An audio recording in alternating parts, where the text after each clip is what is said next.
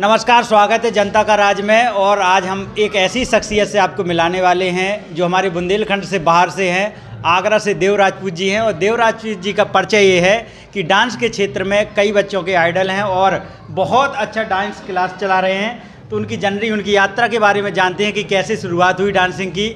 और देवराज जी का स्वागत करते हैं हम करही में। हम इस समय करही में हैं, जो अमृत महोत्सव मनाया जा रहा है, दीप महोत्सव। उसमें कहे हैं देवराजपुर जी पार्टिसिपेट कर रहे हैं। कैसा लग रहा है देवराजपुर जी यहाँ राट कर करही आकर? देखिए मुझे बहुत बहुत अच्छा लग रहा है और बहुत बहुत धन्यवाद देना चाहता हूँ पहले जनता आवाज़ का जिन्होंने मुझे जनता का राज। जनता का राज सॉरी तो जिन्होंने मुझे इतना सम्मान दिया मान दिया प्यार दिया और राट की जो पब्लिक है उसने इतना प्यार दिया। और आज आगरा से चल के मैं ऐसे जज के रूप में बच्चों को सम्मानित करने के लिए आया हूँ। जी। तो यात्रा के बारे में जानते हैं। देवराजपुर जी, बहुत सारे बच्चे बच्चे आपको कॉपी कर रहे हैं, देख रहे हैं, और हम भी आपको बहुत दिनों से फॉलो कर रहे हैं। यहाँ के बच्चे भी लोकल में, राठ में जो डांस कर रहे हैं महोबा में भी देखा मैं आपको जजेस करते हुए। आपकी यात्रा के बारे में जानते हैं देवराज जी, कैसे शुरुआत हुई और कैसे डांस में शुरुआत से इंटरेस्ट था कैसे लगा कि डांस के क्षेत्र में आगे आना चाहिए? देखिए सबसे पहले तो मैं एक छोटी सी गली बस्ती आगरा ज़िले में रहता हूँ। जी। जिसमें कोई भी साधन ऐसा नहीं था कि हम लोग डांस सीखें या कुछ भी कहीं जा पाएँ। एक बहुत ही घनी बस्ती जैसे कह लो कि वहाँ कोई साधन ही भी नहीं मिल सकता डांस सीखने का। तो जैसे कि हम लोग कभी टीवी देखते हैं बहुत सारे गाँव में आज बच के टीवी देख कर डांस सीख रहे हैं। ऐसे ही कुछ मेरी यादगार यादें हैं। जब मैं टीवी देखता था तो जैसे शाहरुख खान का गाना है सलमान खान का है या कोई भी हीरो डांस कर रहा है तो मैं उनको डांस को देख के कॉपी करता था और मैं डांस करता था गोविंदा है और ये डांस मैंने 2010 से स्टार्ट किया था। ऐसा नहीं है कि मुझे बचपन से शौक था बचपन से तो हम लोग खेलते कूदते आए थे। दो हज़ार दस से जब हमने राघव को देखा डांस करते हुए टीवी में स्लो मोशन करते हुए तो हम लोग अपने घर में डांस करने लग गए ऐसे ऐसे तो घर वाले कहते अरे पागल हो गया ये तो। डांस करता रहता पता नहीं पूरे दिन। तो ऐसे ही फिर भाई, भैया दोस्त के फ्रेंड वगैरह आते थे, वो कहते थे, अरे यार, थोड़ा सा डांस करके दिखाओ। तो हम लोग वो भी करते थे। तो जैसे ही कहीं, जैसे मान लो कभी कभी जन्माष्टमी पे, मंदिरों पे जो प्रोग्राम होते थे तो मुझे बुलवाया जाता था वहाँ पे डांस करने के लिए, अरे उसको बुला के लाओ डांस करने के लिए। तो वहाँ जब एक टूटे फूटे फर्श पे हम लोग जब डांस करते थे तो हमें ये भी नहीं पता था वो टूटा फूटा फर्श में हमारे लगेगी या नहीं लगेगी, लेकिन जुनून और जोश था हमारे अंदर। जुनून और जोश और डांस करना था हमें। हमें खुशी होती थी डांस करके कि यार हमें सिर्फ़ डांस करना और वहाँ इनाम रखी जाती थी पहले पाँच सौ एक रुपये तो वो उसे जीतने के लिए हम लोग बेताबू रहते थे। बाकी जब हम लोग फिर धीरे धीरे बढ़ते गए तो लोग हमें बुलाते गए कि भाई यहाँ भी वहाँ उसको बुला के लो। जहाँ भी मतलब डांस होता था अपने क्षेत्र में तो सबसे पहले मुझे आवाज़ दी जाती कि, कि देव राजपूत को बुला के लाओ। और ये जो नाम है मेरा देव राजपूत मेरा जो नाम है वो रियलिटी नाम मेरा देवेंद्र है। मैंने खुद अपने दम पर ये नाम बनाया देव राजपूत। कमाल। क्योंकि आप तो तालियाँ बजा सकते हैं और हाँ। बाकी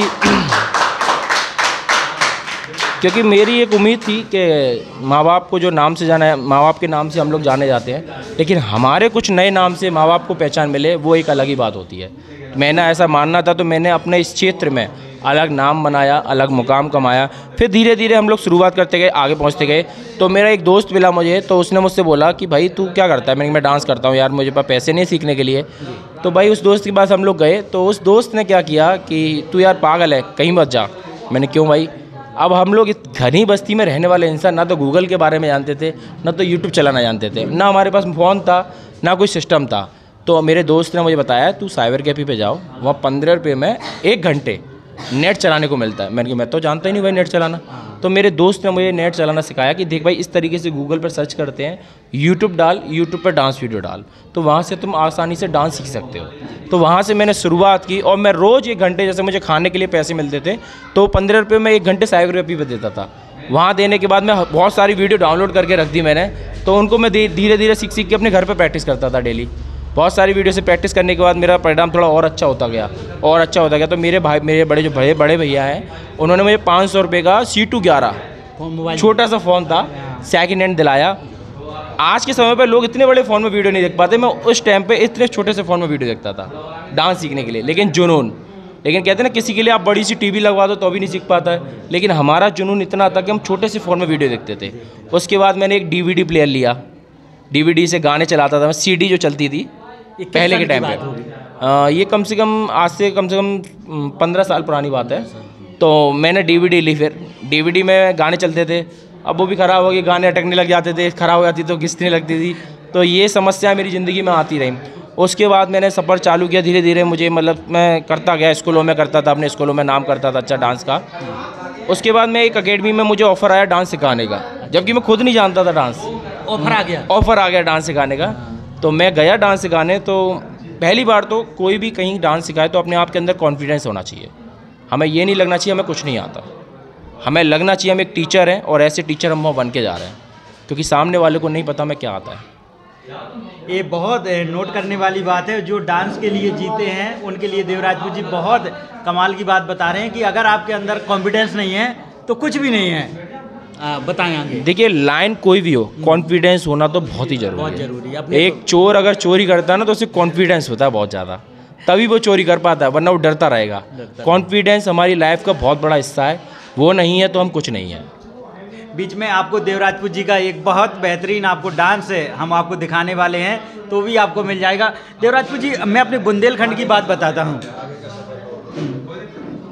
तो और फिर आगे जैसे डांस है आपने क्लास जो आने ऑफ़र आ गया फिर उसके बाद देव भैया? उसके बाद मैंने जो देखा माहौल डांस का जब मैं बाहर निकला रोड पे तो मुझे मतलब अपनी बस्ती जब मैं बाहर निकला मैंने लोगों को देखा। बहुत सारे बच्चे डांस करते थे। हमारे यहाँ एक पार्क है सूर्य वाटिका नाम से। वहाँ पर बहुत सारे लड़के स्टैंड करते थे डांस करते थे। तो मुझे उन्हें देख के डर लगता था। मतलब वो सब लोग मिल के रहते थे। मैं उनको चोरी छुपे देखता था। मुझे ऐसा लगता था मुझे कुछ नहीं आता इनके सामने। कॉन्फिडेंस लो होता है। उन्हें देख के कॉन्फिडेंट लो होता था यार मैं कहता यार मैं तो कुछ नहीं कर पाऊँगा। अच्छा। क्योंकि यार इतने सारे लोग एक साथ थे और मैं अकेला था। अरे मुझे डर लगता था ऐसे देख के। हाँ। हालाँकि मैं डांस करता था लेकिन फिर भी उन लोगों को देख के तो मुझे डर लगता था। लेकिन मेरा धीरे धीरे डर बदला। मैंने अपने आप को विश्वास दिलाया कि नहीं मैं भी कुछ कर सकता हूँ। कुछ लोग मिले, अरे यार, तू करेगा? ना, तू नहीं कर पाएगा भाई, तू नहीं कर पाएगा, तेरे बस की नहीं है। ऐसे कुछ करके चले गए। तो किसी इंसान को ना जवाब नहीं देना चाहिए, अपनी काबिलियत से जवाब देना चाहिए, ऐसा मेरा मानना है। कुछ लोगों ने मुझे दरवाजे पर खड़े खड़े करके एक एक घंटे लौटा रहा था, जब मैं लोगों से सहयोग माँगता था। तो लोग कहते थे, अरे नहीं, ये तू, तेरे बस की बात नहीं इससे मिल ले, उससे मिल ले, ऐसा कुछ नहीं। तो मैंने भी उसी दरवाजे पे, उसी जगह पे एक कसम खाता था हमेशा अपने आप में कि ऐसा वक्त लाऊँगा कि ये लोग मुझसे मिलने के लिए मेरा नंबर पाने के लिए तरसेंगे। और आज आगरा के अंदर ऐसा समय मैंने खड़ा किया है कमाल, और ये खुद पर भरोसा, ये जो जिद है ना देव जी की, आप वो जिद बहुत कमाल की जिद और हर किसी इंसान में वो चीज़ होनी चाहिए, कभी अपना हौसला डाउन। अब मैं बुंदेलखंड की बात करता हूँ। जी भैया, यहाँ पर देखते हैं देव भैया कि यहाँ पर लोग डांस को कैरियर नहीं मानते हैं। थोड़ा सा उनके लिए हमारे बुंदेलखंड में लोग हैं। डांस को, डांस करने वाले को एक नचैया टाइप का बोल देते हैं या नचनिया बोल देते हैं। कैसे आज के क्षेत्र में बच्चे जब डांस में इतना बड़ा बड़ा कैरियर बना रहे हैं और केवल आप यहाँ बुंदेलखंड में लगता है कि पढ़ लिख कर ही लोग नवाब बनेंगे। आज जबकि है, आप डांस के क्षेत्र में इतना नाम कमा रहे देखिए, मैं सबसे पहले तो उन लोगों को बोलना चाहता हूँ जो लोग हम लोगों को नाचने वाला नाचने नच गई या लड़कियों को बोलते हैं जो भी है। हाँ। मैं उन लोगों को बहुत बड़ी बात बोलना चाहता हूँ कि आज के समय में कौन नहीं नाच रहा है? कोई नौकरी पाने के लिए नाचता है? तो कोई प्यार पाने के लिए नाच रहा है? कोई नशे के लिए नाच रहा है? तो हर एक इंसान नाच रहा है। लेकिन हम बहुत बड़े लक्की इंसान हैं हम जो नाचना हमें आता है। आप लोग देखा होगा आपने आप भी कभी घर में घूमते होंगे तो आपके माँ बाप कहते हैं अरे इधर उधर क्यों नाच रहा है? ये कहावत चलती है। कहावत चलती है। हाँ। अरे क्या यार ज़िंदगी में नाचते नाचते गए तो नौकरी नहीं मिली आज हाँ। तक इधर उधर घूमते घूमते तो ऐसी एक कहावत है तो मैं उन लोगों से इतना कहना चाहूँगा भाई हम बहुत लक्की हैं। हमें नाचना आता है तुम लोगों को वो भी नहीं आता है। तुम लोग ज़िंदगी भर घूमते रह जाते हो तुम्हें कुछ नहीं होता तुम्हारा। लेकिन हमें नाचना आता है हम बहुत हैप्पी रहते हैं। ये हमारे लिए बहुत बड़ी बात है। तो इसलिए कोई भी चीज़ को पहली बात तो हल्के में मत लो। ये आप लोग सोचते हो कि नाचने से कुछ नहीं होता या नाचने से आज मैं आप लोगों को बता दूँ कि नाचने के बाद आज नाचना कह लो या डांस कह लो या नृत्य कह लो आप लोग ये भाषा का प्रयोग है। आपके शब्द हैं आपको इज़्ज़त दे सकते हैं। दे सकते हैं। ठीक है? माँ कभी बच्चे को मारती है तो या तो गाली कह लो या प्यार कह लो। ये तो शब्दों के ऊपर डिपेंड करता है भाई। अब लोग में देव जी एक और आपसे ये पूछना चाहते हैं कि डांस में आप कुछ कोचिंग चला रहे हैं या कहीं यहाँ बुंदेलखंड में? ऐसा कोई डांस के बारे में बच्चे सोच रहे हैं जो नहीं वहाँ तक पहुँच पा रहे हैं? उनके लिए अगर देवराजपूत जी से कुछ सहयोग चाहिए होगा मिलना होगा उसके लिए देवराजपूत जी क्या कर रहे हैं? जो आपने दौड़ जिया है संघर्ष का उन बच्चों को इतना संघर्ष ना करना पड़े। देखिए मैं जब डांस सीख मेरे पास पैसा नहीं था सीखने के लिए डांस है ना? तो मैंने बच्चों को देखा लोगों को देखा पार्क में डांस करते हुए। तो मैंने उनको उसी पार्क में डांस सिखाना स्टार्ट किया। आगरा में? कोई पैसा नहीं उनसे। मैंने एक टीम बनाने के लिए बहुत बड़ा मुकाम तैयार किया। उसके बाद मैंने उन अ, मुझे लगा कि यार जिस दौर से मैं गुजरा हूँ मेरे पास पैसा नहीं है। शायद इन बच्चों के हाथ से साथ में भी यही सब चल रहा है। तो मैंने इन बच्चों को फ्री डांस सिखाना स्टार्ट किया। लोग मुझसे जुड़ते गए। बहुत बच्चों को मैं डांस सिखाने लग गया फ्री। तब मुझे लगा कि अब मुझे क्लास खोलनी चाहिए। तो मैंने एक छोटे से क्वार्टर होते ना सरकारी क्वार्टर तो मैंने दो हज़ार रुपये में एक क्वार्टर ले रखा था। वहाँ एक घंटे में सबको डांस सिखाता था। सबको डांस सिखाता था। उसके बाद मुझे लगा कि नहीं यार मुझे अब और आगे भी बच्चों को तलाशना चाहिए। तो वहाँ से मेरी एक तलाश जैसे पिक्चर का नाम है कि आपने देखा वो तलाश जो अक्षय कुमार अपनी बहन की तलाश में निकलता है ऐसे ही मैं उन कलाकारों की तलाश में निकला। और जब मैं कलाकारों की तलाश में निकला तो सबसे पहले मुझे वो दौर याद आया कि यार ऐसी जगह जाना है जहाँ लोग नहीं पहुँचते हैं यानी कि सरकारी स्कूल। वहाँ हर कोई नहीं पहुँचता है। गली बस्ती वहाँ हर कोई नहीं पहुँचता। सुविधाएँ भी नहीं हो ठीक है तो मैं वहाँ पहुँचा उन बच्चों को ढूंढा मैंने तलाशा सेलेक्ट किया सम्मान के साथ। ऐसा नहीं मैं उनको ऐसे उठा लाया। सम्मान दिया उनको गिफ्ट के तौर पे कि आप सिलेक्टेड हो मेरी एकेडमी में फ्री डांस सीख सकते हो। तो इस तौर पे मैंने एक पहल चलाई कि कोई भी जो स्लम्स बच्चे होते हैं गरीब बच्चे होते हैं जो प्रतिभा छुपी रहती है उनके अंदर उनको निःशुल्क मंच दिलाऊँगा और उनको निःशुल्क फ्री ऑफ़ कॉस्ट में डांस सिखाऊँगा। तो वो मैं कर रहा हूँ। आज मैंने कम से कम सौ से ऊपर मैंने बच्चों को निःशुल्क मंच दिलाए। आज सभी बच्चों के घर में जो सरकारी स्कूल से मैं लेके आया था उन बच्चों का, आज उनके घर में सौ सौ अवार्ड रखे हुए हैं। सौ सौ अवार्ड रखे हुए। तो ये कैसी लगी बातचीत देवराजपुर जी से? आगरा से पधारे हैं, हम लोग करही में थे और आप शुक्रिया। और देवराजपुर जी से कुछ भी आपको छोटे छोटे मूवमेंट डांस के कुछ भी स्टेप चाहिए हो तो लिंक दे- देवराजपुर जी का डिस्क्रिप्शन में मिल जाएगा फेसबुक पर। आप जाकर उनके छोटे छोटे नोट जो भी डांस के नोट हैं वो बना सकते हो देख सकते हाँ बिल्कुल देखिए लाइव के माध्यम से या फिर आपके पास अगर कोई रहने की व्यवस्था है आगरा में तो मेरी तरफ़ से फ्री ऑफ़ कॉस्ट डांस ही सकते हैं आप। जल्दी ही कोई हमारे क्षेत्र में भी आप खोलेंगे ऐसी हाँ बिल्कुल खोलेंगे क्योंकि अभी मैं आज जो आया हूँ ना मैं जजमेंट करने कम आया हूँ उन बच्चों को मोटिवेशन देखने आया हूँ।